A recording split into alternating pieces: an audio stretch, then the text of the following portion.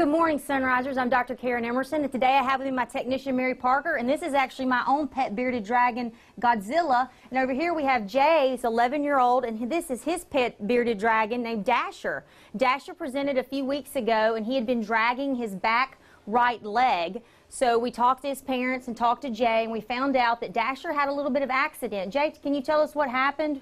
Uh, well, I was cleaning out my tank, and then you know he was like sitting down on the floor. He was he was either asleep. I think he was asleep under um, well not under, but beside the pillow, and then I had accidentally moved the tank over and it had fell on his leg. Yeah, so uh, uh, his food fell on him, or the top of the tank. The uh, food. The Yeah, the food. So it, it doesn't take a lot to break these guys' legs. So after he told me that, we went and did an x-ray of Dasher's back leg and it was actually broken.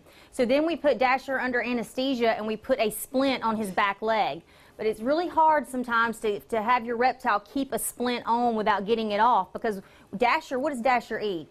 Um, Dasher eats crickets, mealworms, um, veggies. So he has to chase his food. So it, it, Dasher really didn't like having the splint on the back leg, and we really were having issues with getting the leg to heal. So we all talked about it, and we decided to amputate Dasher's back leg. So as you can see, let's show him, show him on the camera right here. See, this is Dasher's uh, right back leg. And as you can see that we amputated it right here, but he gets along really, really well. He you really don't even know that he, that he had it amputated. He's, he's eating his food with no problem. He's doing very well. He did have some issues with his tail, but we're getting that under control, and he's growing. So, you know, if you're if you do have a, a bearded dragon and you have them in an aquarium, you always need to be careful when you're moving the top to not have any stuff sitting on it because it can fall and break their leg. But you, don't you think Dasher's doing well with just three legs? You don't even hardly notice it anymore, do you? And in a little bit, we can show you the x-ray of actually what the leg looked like when it was broken. So if you have a bearded dragon and they've never seen a veterinarian, give us a call today. Let us set it up. We'll go through the husbandry for your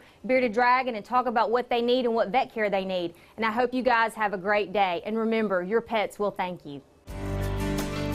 WCBI Animal Health with Dr. Emerson was brought to you by Emerson Animal Hospital in West Point.